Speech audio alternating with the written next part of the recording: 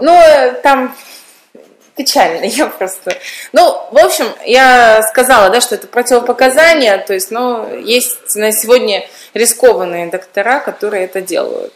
Нет, я просто предложила двумя этапами сделать, то есть э, пациентка у меня живет в Якутии, она сказала, что э, мотаться ко мне вот так вот и то у нее там огромная просто работа имплантологическая, протезная еще была, что еще его... Просто мужчине я тоже делал, мужчине, это ладно.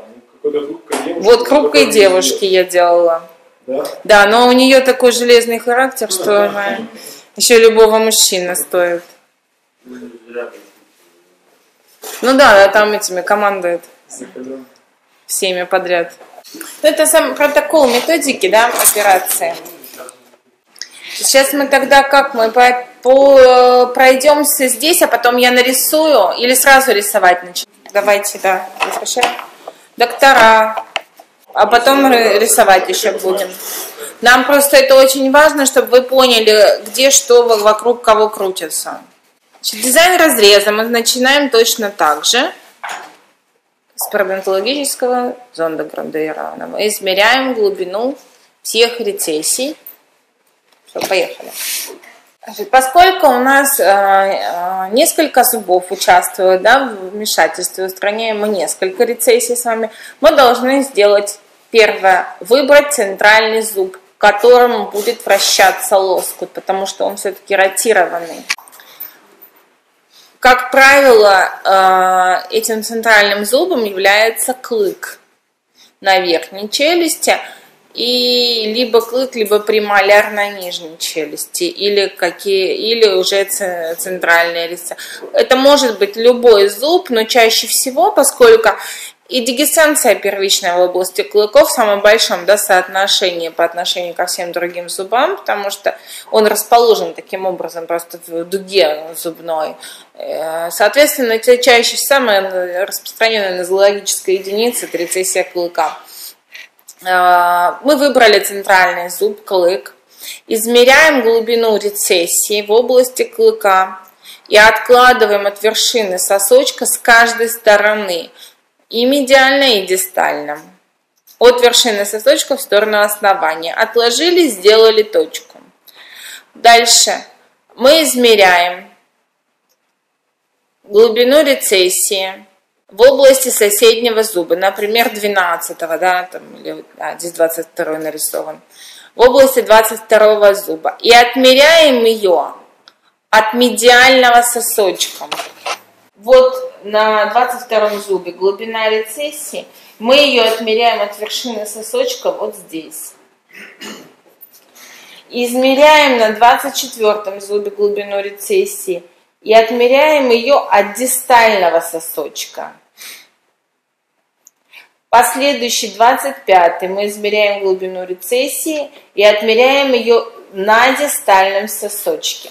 Все, что дистализируется, мы отмеряем э, на дистальном сосочке, все, что вперед идет от центрального зуба, на медиальном. То есть как бы на один зуб откладываем вот так вот назад. Вперед и назад, да, у нас в две стороны, поскольку будет ротация к центральному зубу, который выбран. Дальше начинается формирование дизайна разреза. Первый разрез вы проводите скальпелем C15, соединяя вершину рецессии, вот этот зенит рецессии, с точкой, отмеренной на основании сосочка. Вот таким вот образом. Клыку в одну сторону и клыку в другую сторону ваше движение скальпеля от дистальной поверхности стремится всегда к клыку и от медиальной поверхности к клыку. То есть все зениты рецессии вы будете соединять с точками. Еще раз, что? Зенит рецессии вы соединяете с точкой отмеренной от вершины сосочка в основание. И вот этот э, зеленый да, маркер – это вот дизайн разреза в данном случае. Плюс, поскольку это мы сейчас говорим о верхней челюсти, вы добавляете циркулярный бороздковый разрез внутренний на плюс один зуб с каждой стороны, потому что мы, да, не делаем вертикальных, Да, вот так. А, и вот этот вот так тоже, да. А, а здесь вы уже отслаиваете. И вот здесь я потом расскажу, здесь особенно, здесь уздечка. И ее надо тупым э, методом, ну, да, тоже отслоить будет, потому что она ничего будет тянуть. А?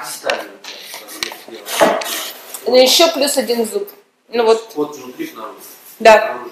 да. От зенита сюда, от зенита сюда. Вы стремитесь к клыку, мы выбрали центральный зуб. Все. Угу. Он у вас потом вот так вот и ротируется сюда вниз. Вот то, что у вас получилось, когда вы э, отслоили.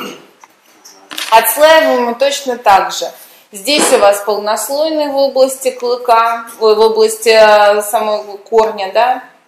На боковых поверхностях между зубами расщепленный лоск. Постарайтесь сохранять надкосницу на принимающем ложе, она нам понадобится. Деэпитализированные сосочки и мобилизация лоскута, расщепление его апикально. Если мы работаем двуслойной методикой, значит мы устанавливаем сюда пластический материал или аутотрансплантат, пришиваем его, фиксируем э, к сосочкам анатомическим, деэпитализируем, возвращаем на место слизистно-костичный лоскут и начинаем ушивать. С краев, да? Да. Ну, я стараюсь ушивать от медиального э, дефекта всегда. Ну, как-то вот так мне удобнее.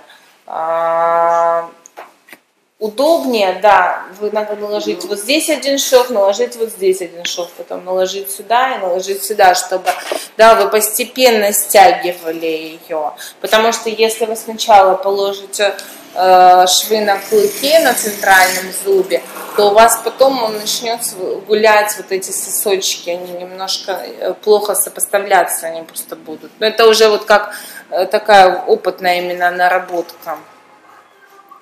Швы такие же обивные, двойные, да.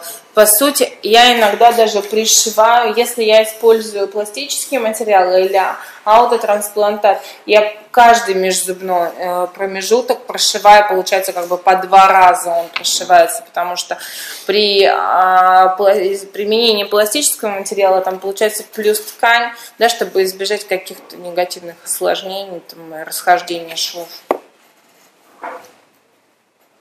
Ну, все. Осложнения у методики абсолютно такие же, как у всех остальных. Это обнажение пластического материала, рецидив и расхождение швов. Реактивность на твердую мозговую оболочку. Сейчас вот мы посмотрим, как это выглядит на пациентке. Измерили толщину, да. У нее не тонкая, у нее средний биотип, да, у нее полтора миллиметра. У нее на самом деле плохая десна в области 22 и 24 зуба. Ну, это вот видно, да, там уже второй класс.